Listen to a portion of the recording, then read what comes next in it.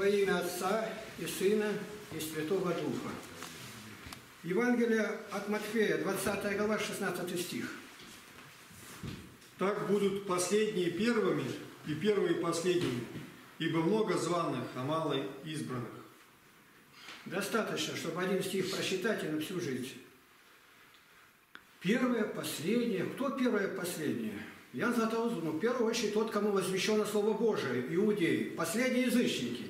Язычники приняли Христа, стали первыми, а они распяли, остались последними. И в жизни также. Мы сейчас прочитаем такие места, которые заставят задуматься, и мало того, страх поселит в душе. Являются ли тем, которые имеют уверенность, что я буду там. Если этой уверенности нет, то ничего еще нету. А мы говорим, это вот только сектанты говорят, я спасенный. Слово Божие говорит об этом. Мы привыкли, чтобы гладили по-хорошему. Не получается.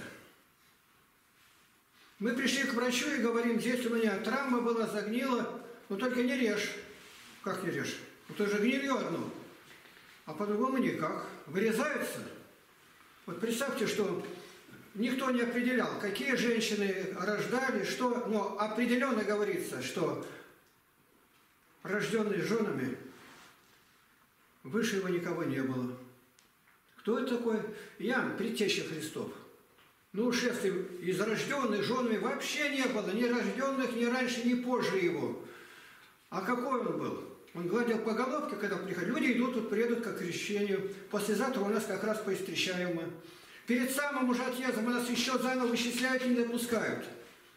Так у нас еще только год шли занятия. А в университете я вел занятия от 3 до 5 лет подготовка шла. И после этого еще 50% отпадут будущие крещенные. А почему? Я искал этот ответ. Я его нашел здесь. Избрания не было. Человек своими силами пытался, а избрания нету. Избрание – это решимость до конца быть верным Богу. И даже не так будет поступать. У него другие желания. Вот я разговаривал с людьми, с теми, которые думают, что они все знают. У них понятия никакого нет. Ну, не с кем-то я говорю, а со священником одним. Я говорю, вот у меня обращение было как у Савла. Человек верующий, родился фарисей от фарисеев, по правде законный, непорочный. И что делал? Хватал христиан, христианок, тащил в Иерусалим, пытал, добивался отречения, а он был избранный. Избрание наступит, в действие вступит позже. И мы об этом сейчас просчитаем. Когда начинаешь вникать в Слово Божие, до толкованием Святого Златоуста, как говорится, волос дымом станет. А я являюсь таким? Вот пример. Кто Духа Христова не имеет, тот и не его. Римлянам 8.9. Мы идем домой, один из ваших братьев говорит, ну а кто мне должен сказать, я имею Духа Святого или нет? Или я сам должен определить? Видите, это вопросы серьезные. Однажды выходим из занятия, я говорю, следующее занятие будет та тема такая, почему я такой вредный? Меня он спрашивает сразу, откуда я про вас все знаю, а при чем тут я? Ты про себя, я про себя рассказал, в книге написано, какой я был. Так это я о себе, о себе так замолк, больше ни разу не подошел. Вот наше рождение. Рождение – это освящение Духом Святым. Человек родился для Бога. И об этом узнают не соседи только, весь мир узнает. Ну, говорят обычно, что если человек обратился к Богу, какая-то беда была, там, бросили все, а эти люди подсуетились, помогли, и ты к ним пристал, у Павла не было, у него все в руках было. Он близкий был к генеральному прокурору. Доверенное лицо, идет в Дамаск, у него охрана. Все есть. Нет только примирения с Богом. Для этого надо, чтобы Господь явился. А вы можете сказать, когда явился? Павел мог сказать, я могу сказать 27 сентября 1962 года в 17.00. Меня родной брат говорит, у меня такого не было, я привык, ходил, но потом вот так вот было. В это время передо мной все открыто, стопроцентное здоровье, море. Там проверяют и барокамеры, и как хочешь. Дальше, деньги. Главное это деньги. Деньги, выше этого нельзя заработать, с выходом за границу. Высшее мореходное училище, передо мной все двери открыты, знание нескольких иностранных языков. Но никто не видит, что у меня внутри, у меня пустота. Я сегодня умру. Это надо мне? В это время я занимался на семи языках. Самостоятельно. И я вижу, что такая пустота, от которой не заснешь. Меня никто не уговаривал. Я только знал, что у Бога где-то скрыта эта книга, но я ее не знаю, как ее найти. Я просто рассказываю. Павел о себе подробно рассказывает не один раз, как он был. Это не должно рассказать об этом. У меня два пункта было, которые я любил. Любил бабушек. Они неприкаянные, а тем более, где на квартире жил, в Барнауле учился, когда она сидит где-то, просит, ее родные выкинули. У них нет. А у меня тоже ничего нету. Но я сегодня кусочек отломлю маленько, и в конце концов она пообедает. Бабушек любить. Скажите, из юношей молодых, кто бабушек любил? А чтобы как избирают молодые, я скажу, вы думаю, прочитайте, Бытие 6.2. Сыны Божии стали, ну, можно открыть даже, то сохранить. Тогда сыны Божии увидели дочерей человеческих, что они красивы, и брали их себе жены, какую кто избрал. Избрание у людей было. Какие? Это особое поколение. У немцев было там, Генри Гейман занимался это, отдельно по всем параметрам женщины, рост какой, гимнастика, то есть улучшить породу. А потом, ну а потом, ясно дело, что они должны забеременеть. И уже 200 тысяч было перед концом войны, а теперь-то все по-другому. И они уже родились такие, теперь их везде преследуют. У Бога не так. Если Он избрал, то уже никто не помешает. Здесь люди избирали. А где эти люди красивые? Потоп. Это люди верующие, сыны Божии, полюбили дочерей комсомола, женились на них, все под корень высыпано. Нету ничего. А люди, которые, может, были не такие красивые, где они? Мы сейчас увидим, где. И как Бог избирает.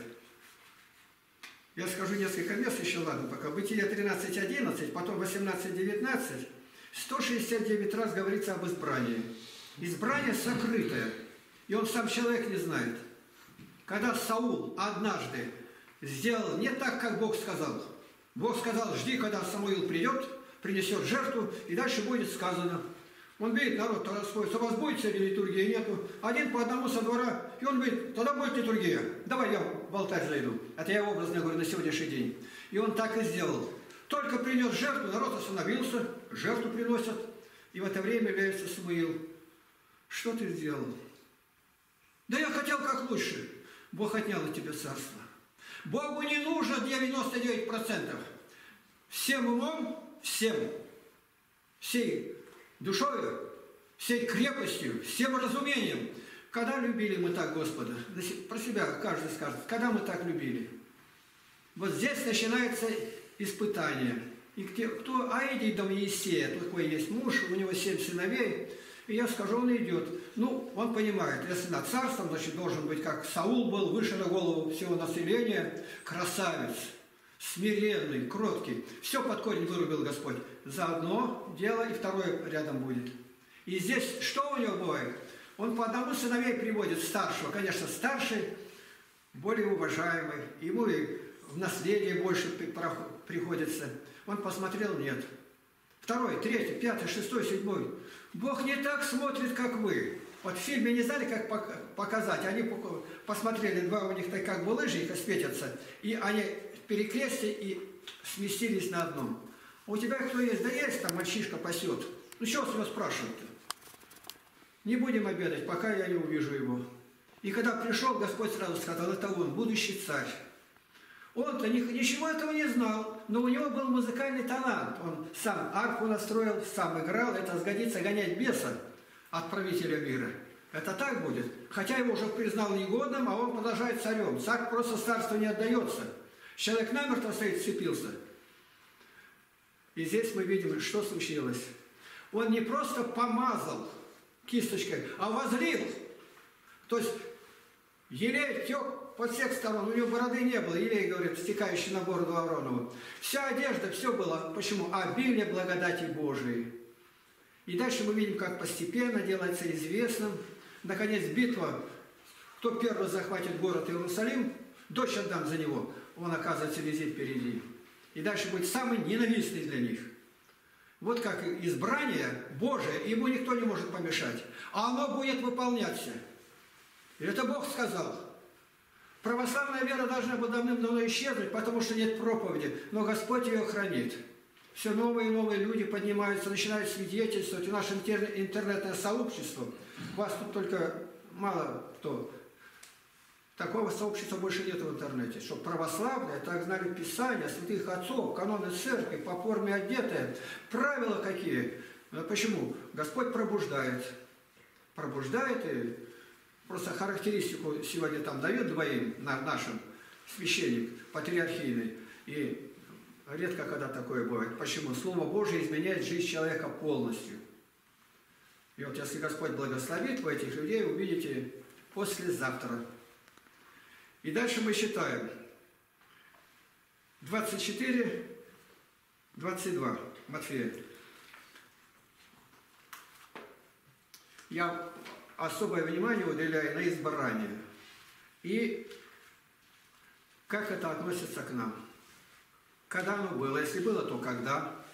Вот я могу сказать, я в этот день обратился – только в корабль пришел и первым... Я не могу, я хочу молчать уже нельзя. Я сразу говорю, живем неправильно. И уже к утру не капитан знал, а караван кораблей в море знали. Лапкин сошел с ума. Такая перспектива была. И все под корень. Почему? Бог коснулся. Я видел, все это шелуха. Она ничего не стоит. Если ты Бога знаешь, поэтому все остальное даже мелочи нельзя назвать. 24.2.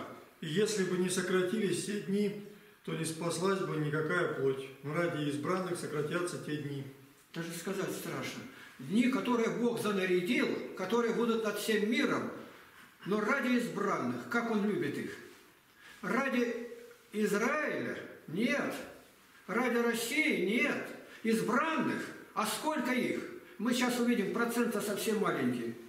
И вот ради их, если избранные есть, Бог все меняет. И погоду делает другое, и врагов делает друзьями. Мировое событие, воцарение Антихриста, когда ни продать, ни купить нельзя будет без особой метки. Ну, сегодня уже можно догадаться. Защипирован, показал, прошел, получил. Вплотную подошли. Но ради избранных дни те сократятся. Почему мы сегодня ради избранных, если их знаем, не можем сократить себя в чем-то? Вот посмотрите, рожденные женами самый великий Иоанн Креститель. И вдруг люди приходят креститься. Ну вот молодцы пришли. Нет, он по рождению Ехиднины.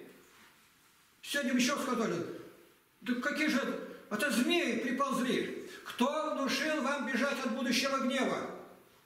Молчание. Не говорится, что он один раз сказал. Значит, это повторялось уже сотни раз. Это единственная его проповедь, которая осталась. Второе, он сказал Христу, мне ли крестить тебя? Я не заставлен развязать ремень обуви. Это означает обувь из кожи. Так, я не могу понять, как ты умрешь и что будет. Смысл какой заложен в этом. И здесь сказано было, я посылаю вас, как овец, среди волков. А кто волки? Волки могут и свои быть торгаши, могут быть дальние, сектанты, коммунисты, фашисты, масоны, волки. Запомните слово одно волки. Но когда апостол Павел прощается с паствой, 22-29 мы об этом считаем, Деяния апостолов, то он, прощаясь, перед этим призвал епископов, священство, и перед ними его слово. Последнее, вы меня больше не увидите.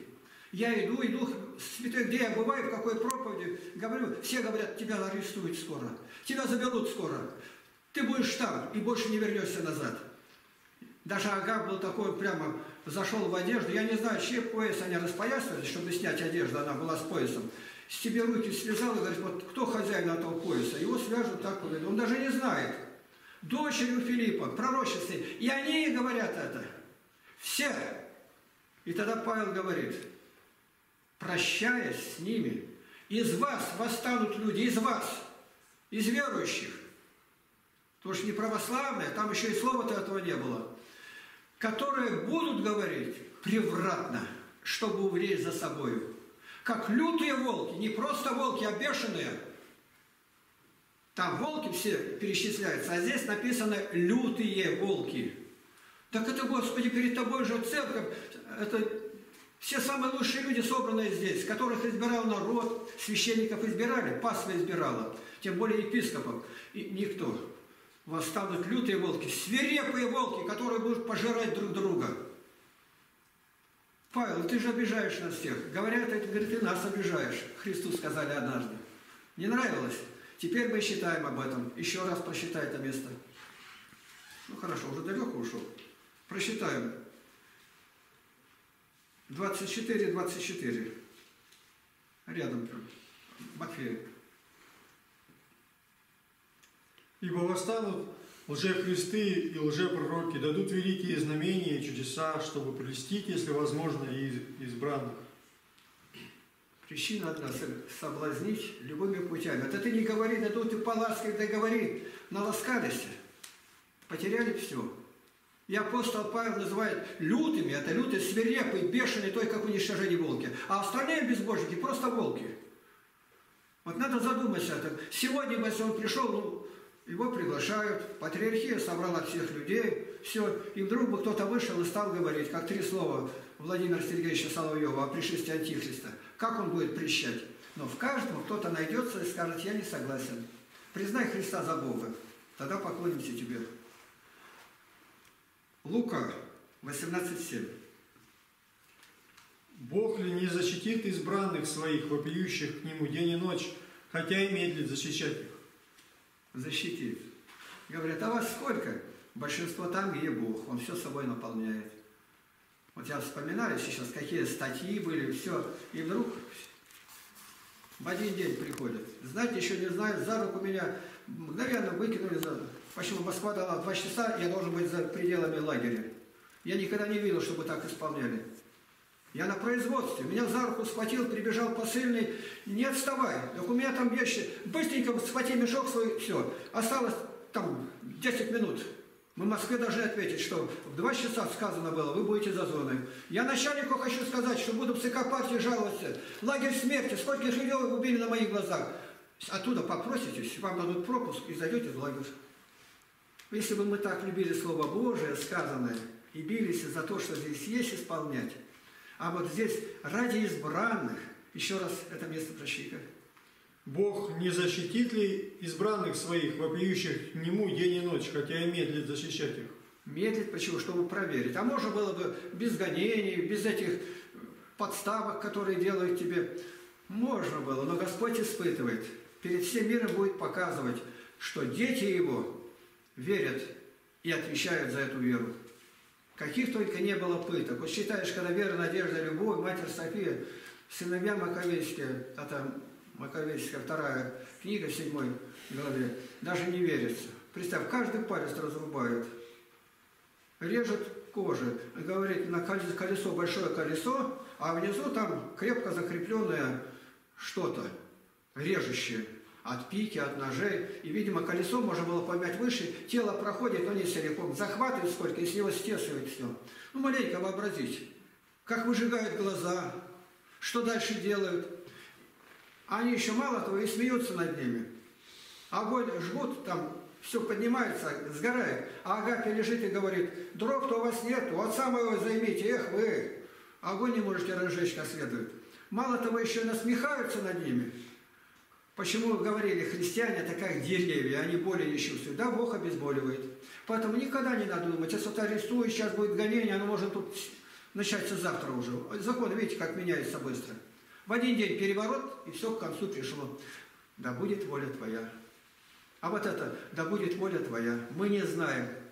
Вот к нам едут люди, некоторые допустили, да будет воля твоя. Настолько сильно просится, и я больше могу не приехать. Мы говорим, да еще не готов ты да будет воля Господня. Некоторые уже, которые крещеные едут, а некоторые отдельно, чуть попозже, там, с юристикой связанные. Дальше читаем мы. Евангелие от Иоанна, 13-18. «Не о всех вас говорю, я знаю, которых избрал, но да сбудется Писание, идущий со мною хлеб поднял на меня пету свою». То есть, кому больше всего помогал, он поднял на меня пету. Это говорит Давид в псалтыре своей. Конечно, это тяжело. Для меня нет больше радости, как слышать, что дети мои ходят в истине. Ян Богослов. И отсюда нет большего огорчения, как уверовавший возвращается в стан врага или еще что-то делает. А Господь и это допускает. Целованием ли предаешь Сына Человеческого?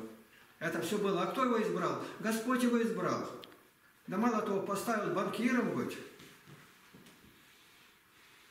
А он был вор. Дальше, Иоанна 15-19. Если бы вы были от мира, то мир любил бы свое. А как вы не от мира, но я избрал вас от мира, потому ненавидит вас мир. В лице верующих, неверующих, мирской человек, он считается верующим, разности нету. И апостол говорит, что не сомневайтесь, если бы вы были бы похожи на них, то мир любил бы свое, они тебя бы возвысили. Смотри, какие данные. Нашли сегодня главного агронома в стране, в сельском хозяйстве. Президент поздравляет его и сразу присваивает звезду Героя социалистического труда. Что он мог сделать? Большая отара овец. Напали бандиты вооруженные. И он один сумел отбить и сохранить отару. И с сегодняшним президентом в газете печатает, он стоит за руку его держит. И почему? Так будет в Царстве Небесном. Сохрани эту отару. Не пред... Ну, он бы сказал, я что могу сделать? Вооруженные, я один. Ну, видно, что крепкий мужик. Итак, если мы будем стоять на защите Слова Божия, благодарить Бога за все, что нам и не нравится, это Его дело. Сегодня у тебя все есть.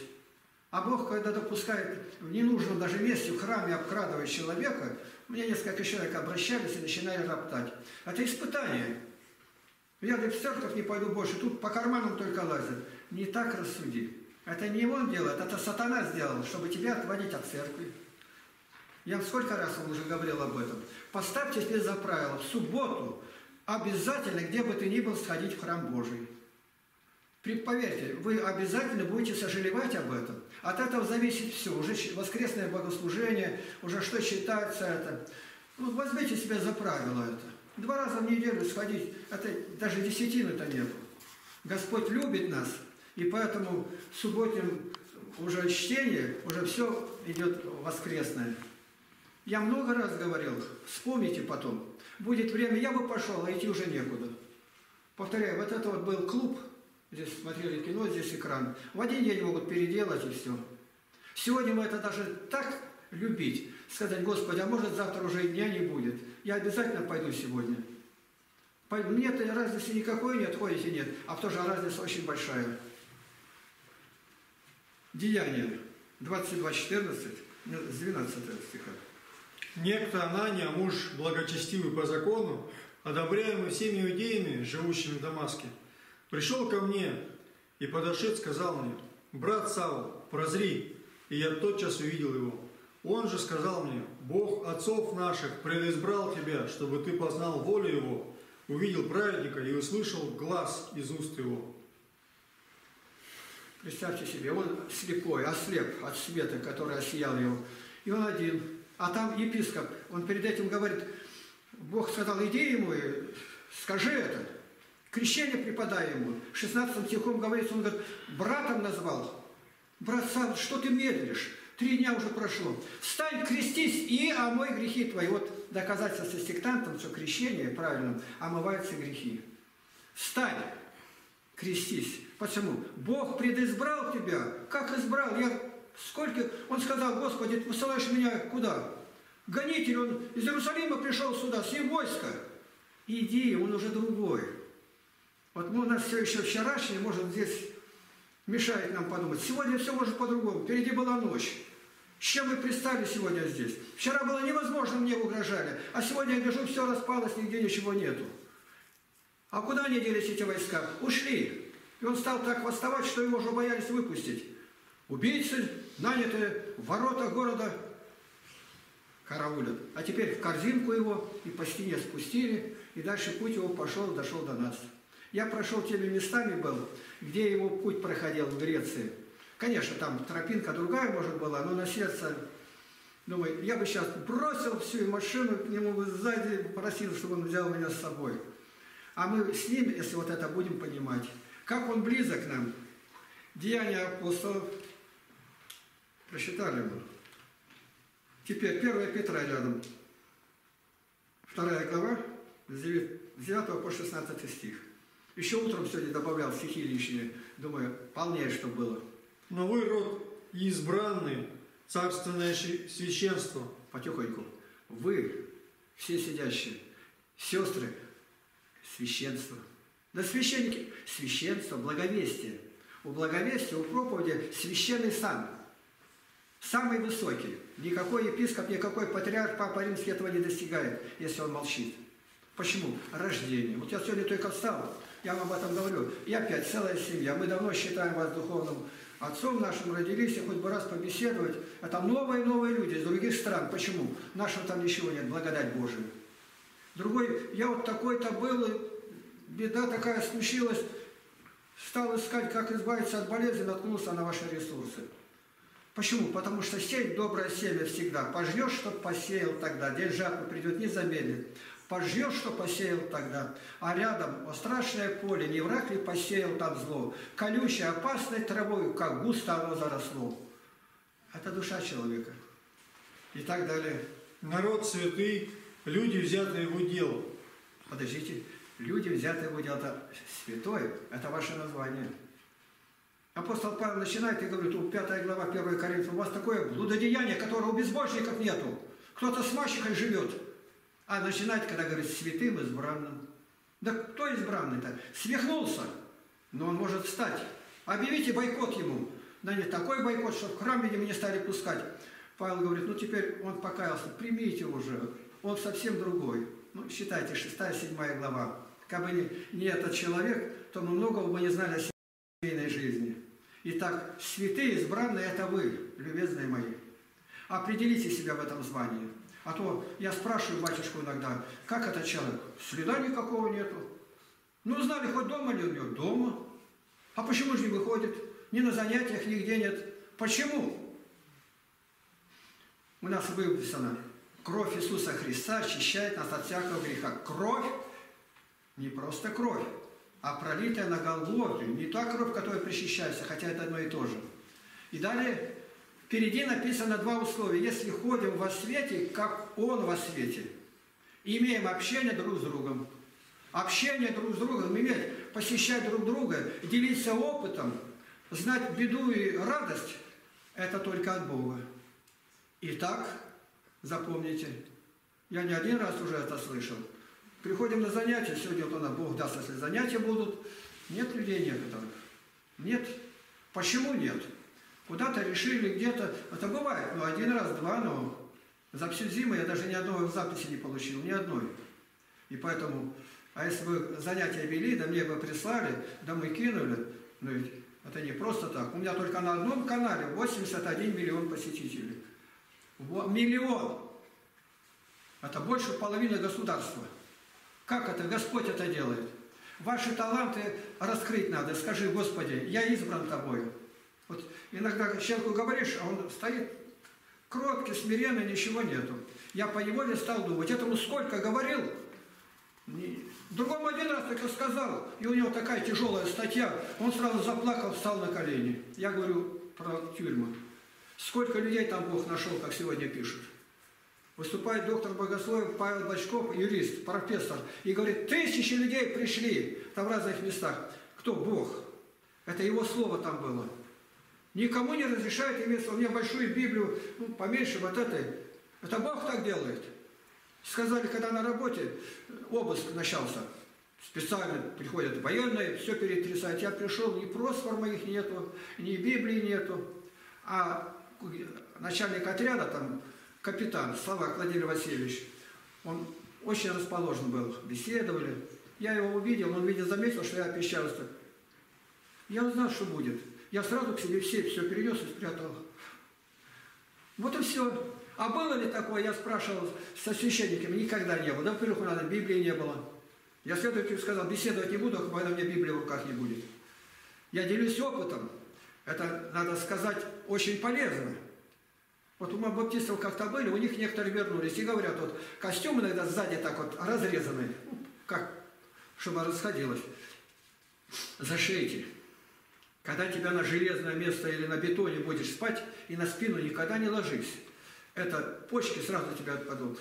А ложись на живот. Живот – это кухня. Там тепло. Я пришел домой, сразу же, где были разрезы, все зашил. Маленько пойдя меня арестовали. Как мне это сгодилось? Кто бы ни сказал, ты всегда попытайся узнать, а опыт кто-то делал это, так, это очень полезно. Я советую вам, зашейте сзади все разрезы. Я уж не говорю, что женское оно вообще ни к чему. И далее. Дабы возвещать совершенство, призвавшего вас из тьмы в чудный свой свет. Вот теперь по частям берем. Святые избраны возвещать, что? Что Господь сказал? В чудный свет. Куда мы идем? Да есть тьма, нет электричества. Это все правильно. Но чудный свет, которого сияет сердце, никто не погасит.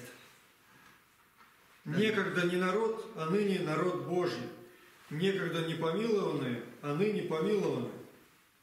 Возлюбленные, прошу вас, как пришельцев и странников, удаляться от плотских похотей, восстающих на душу. Это нам Господь дает сегодня понять. Много что есть в этом мире. Вот у нас недавно обратилась одна душа, и она бальные танцы учила, показывала. И мы подместили, какая она была и какая сейчас. Это даже совместить нельзя. Когда обращается человек, он только об одном думает, как возлюбленному моему угодить. Вот когда читаем песни песней, то он видит невесту, он ее со всех сторон описывает, какая она. А она, он находит семь качеств у ней, которые в других он не видел, избрал ее. А она в нем видит десять качеств, считается во имя Троицы. А когда считаешь, ну, даже бы никогда бы не додумался так сказать. Песня песней просто посчитайте. Некоторые боятся даже ее считать. Надо понимать не в извращенном смысле, а в божественном. Он описывает, какой стан, как идет она. Ну, все как есть. Это качества, которые присущи должны быть нам. Почему написано пояс в Новом Завете, мы читаем Откровение, пояс не внизу, а по персям, по груди. Христос с поясом был, ангелы в поясах. Вот говорят, такой-то человек, сегодня известный священник, там отец Андрей, он проповедует. Как-то недавно брали у него интервью и показали вот так вот. Библиотека, и на первом месте в шкафу стоят мои книги. Передали ему. Да, он говорит, хорошо, все, а повернули дальше, торговля во все идет, как одетые женщины в брюках, он как будто ничего не видит. Однажды одна такая женщина сказала, говорит, я исповедовалась у вас, батюшка, один грех забыла сказать. То есть смысл какой? Ты пока никуда, я сейчас приеду. Он говорит, ломиком тебя встретить. Через колено ломать только. Его за это осудили где-то. Ну, уже допекли, видно, дальше некуда. Вы знаете, это священник, очень популярный, говорит на разные темы, да благословит его Господь. Но Соловей поет, а все тоже. Вот по форме, чтобы так были одеты, как наши сестры, этого нету. Стоят люди бритые, там, как будто никого из них не видит. Почему? Потому что конкретным человеком, если ты где-то хочешь прийти к Богу, надо потрудиться во всех областях. А как ты соблюдаешь посты? А как ты занимаешься Словом Божиим? На исповеди должна быть главная тема. Двигаешься ты за Богом, с Богом или нет? Или одно и то же повторяется у тебя? Вчера ты такой был, год назад. А где у тебя дальше-то движение-то? Где духовный рост? Ты благодари Богу, пришел на исповедь не просто, батюшка, прости, а поблагодарить Бога. И батюшка крестным знамением запечатлит это. И как ему это радостно, тут все это написано. Мы имеем священство духовное, проповедь. 1 Петра 2, 9, 16. Так, прочитали. 2 Петра. Помоги мне найти. Кажется, 1 глава, 10 стих, да? Посему, братья, более и более старайтесь сделать твердым ваше звание и избрание. Так поступая, никогда не припнетесь. Избрание произошло, а теперь делай его твердым. Чем? Жертвенностью. Вот, а как вы определяете? Ну, меня вот спрашивают, ну, могли бы вы определить? Сегодня только один говорит, у меня вот такая беда, я не знаю, как мне из этого выйти состояние. Я знаю самое хорошее лекарство, при том стопроцентная гарантия пока не было срыва. Приезжай ко мне, будем жить вместе в одной комнате. Стали жаловаться в нашей общине один. Опять запил. А у него мать больная, наша старшая сестра, сразу мать, мы за ней будем ухаживать. А ты, брат, тебе что сказали? Да сказали ко мне перейти. Ну и переходи. Он перешел, так, договариваемся сразу, полное подчинение. Со мной вместе встаешь ночью, днем, на производстве так и работаешь. Питание, которое у меня я даю даром, но питаемся мы из одного котла. Считаем вместе Слово Божие. вместе будем плакать. У него проходит 4 дня, у меня, говорит, как будто я сроду этого не было. Отпустите меня домой. Я говорю, мы договорились на неделю, ну побудь. Да я уже никак нету. Ну побудь, пожалуйста. Хоть твое имя означает никто как Бог. Есть такое имя человеческое, переводится никто как Бог с еврейского. Знаете какое? Михаил. Никто как Бог с тобой, но ты еще не окреп. И поэтому такое лекарство я нигде больше не слышала. Почему ничего не надо, без выдумки, как есть. Ложиться будем вовремя, а ты на работе будешь работать. Ко мне приехал батюшка, тесть нашей сестры, священник, отец Павел. Ну, габариты такие, что надо позаботиться о здоровье. И он у меня поселился. Прошло, я сейчас не могу сказать, сколько месяцев с чем-то он. На три дырочки пояс утянул. Пошел работать таксистом, потом на стройку. Пойдет ломоть хлеба, больше ничего нету. А то болезнь у меня, давление. Я ни разу давление не мерил. Не надо. Давление отсюда идет туда. Я говорю о людях, которых вы знаете, можете проверить. Домой поехал, а своя Наденька стала его опять любить. И опять вернулась на то же. Твердо звание. Я избран Богом, я не могу это сделать. Не вовремя не могу. Сделать куда-то, отправить средства, это я не могу, пока здесь мы не выкупим из плена брата нашего. Они приняли его и требуют выкуп. И Бог в этом году нам позволил это чудо совершить. Господь вырвал оттуда людей. В, один, в одну ночь потребовали миллион. И к утру он был... Это не выскажешь, сколько было радости. Пришли, радуются, стоят со слезами. Поэтому ты, брат, еще там сгодишься, где ты даже себя никогда не видел.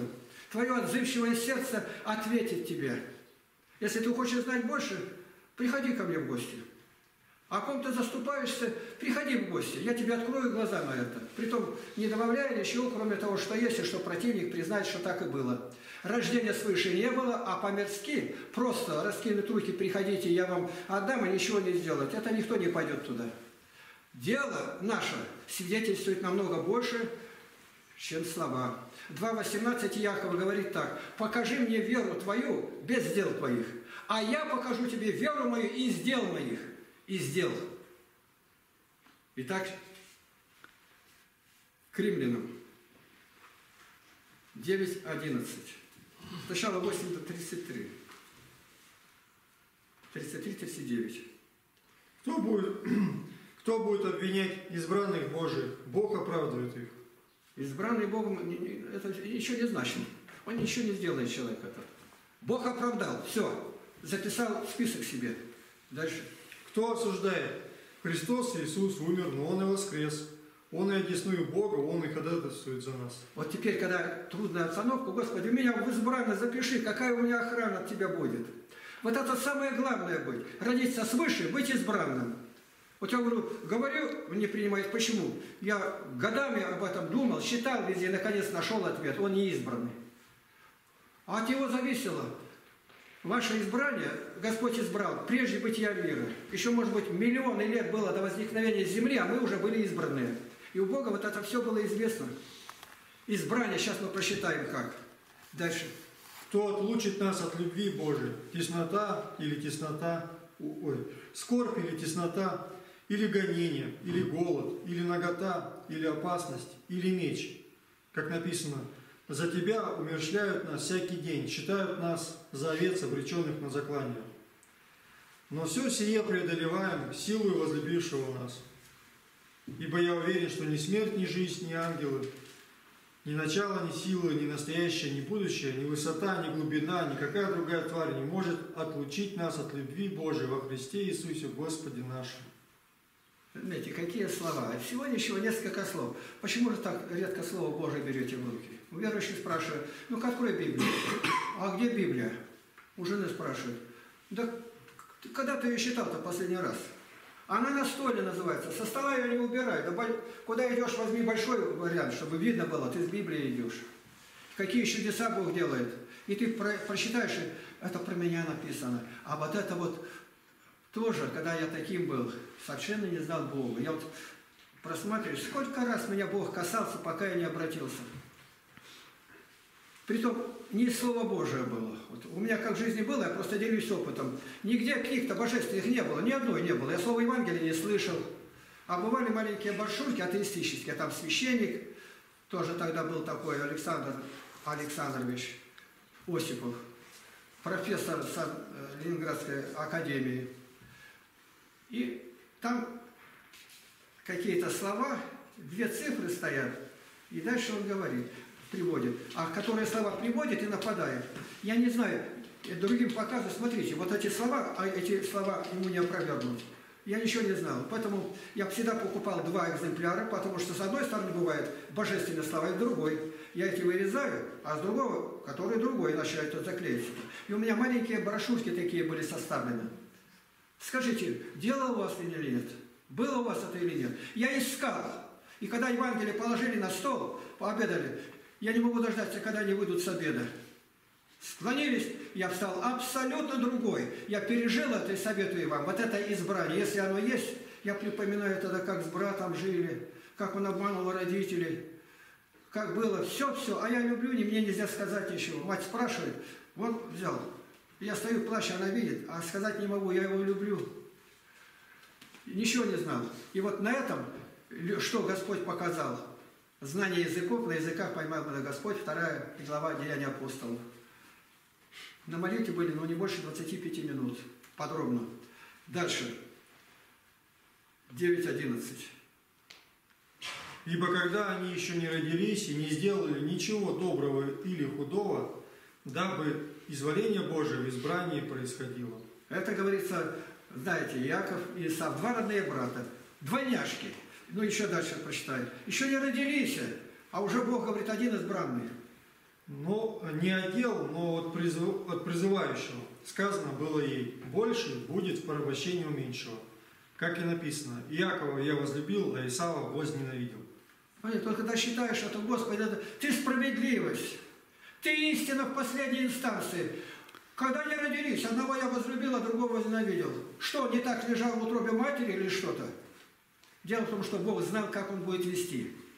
У Исава, во-первых, отец за него все время, он отца подкармливал. Вот который бегает баран здесь, в засаде сидит у нас, и тот, который в горах, мясо разное. Потому что ты тут кое-что даешь, то, что уже там пересохшее, там комбикорм, а там все естественное. И он ему приносил такую пищу и кормил ею. И он говорит, я благословлю тебя, покорми меня сначала. А в это время вы знаете, как он был волосатый, мать шкурками обложила ему. Он подошел, он говорит, руки Исава, а голос Иакова, он ослеп. Как он боролся, мать за него стояла, благословение. В чем оно выразится, это неизвестно. И, наконец, однажды ничего не поймал, они знают, а вот у тебя что это? Ну, вот этого красного. Он не знал, как чечевицу назвать. Сейчас, говорит, продался за чечевицу. Поговорку вошел во всем мире. Вот этого красного дай мне. Он говорит, первородство дай. Да зачем нам мне первородство, когда я умираю с голода? Забери ты его. А потом какая будет борьба и ничего не сделать. Где и савряне, турки. А избранный – это иудейский народ. Ты хочешь быть благословенным, 12.3 бытие, чтобы у тебя нормально было с техникой, с сыновьями, совсем. Никогда не злословь народ Божий евреев. Никогда. А благословляй. Ты будешь благословен, а проклинающий будет проклятый. Повторяю, 12.3 бытие. Вот когда меня спрашивают, как Вадим такой гигантизм сумели сделать, вот здесь это невероятно, это невозможно. Бог, потому что я все время благословляю эту нацию, чтобы они познали Христа истинного, которого их предки не приняли. И далее. Что же скажем, неужели неправда у Бога? Никак. Ибо Он говорит Моисею, кого миловать, помилую, кого жалеть, пожалею. Заметьте, никак, слово никак а вот в английском языке читаешь, кто знает, там написано God forbid. Бог запрещает. Два слова стоит. Бог не прав, может, Бог запрещает так думать даже. Но не в утробе, не твоего ума дело. В вечности все откроется. Но он в утробе, Господи, ты же правильный, ты все делаешь как надо. Прими как есть. Не зацикливайся на этом вопросе. И поэтому ты почувствовал, ты избранный. Сядь сегодня, не завтра, сегодня, и напиши, когда тебя Господь касался. Я вот себя помню, примерно два с половиной года было, отец вернулся с фронта. Вот, запечатлелось, как я заскочил на печку, испугался его. А уже в 4 у меня была тягость где-то скрыться и помолиться. Вот с какого возраста уже ты можешь сказать, что-то у тебя есть. А ты позже пришел, ну, позже Савва, позже пришел, стал Павлом.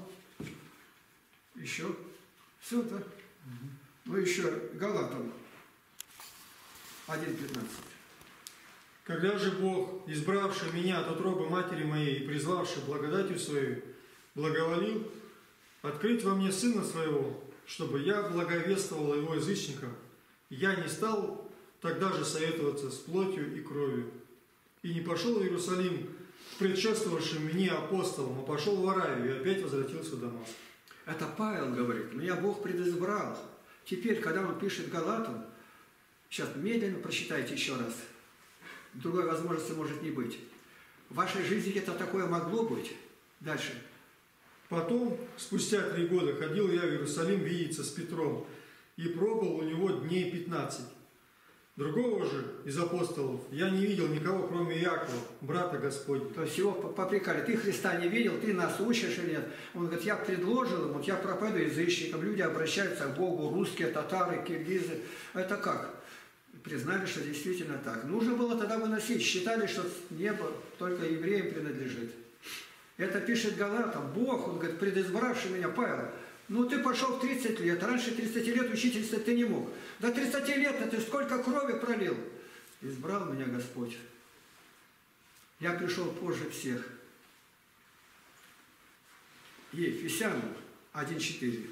Сейчас закончим.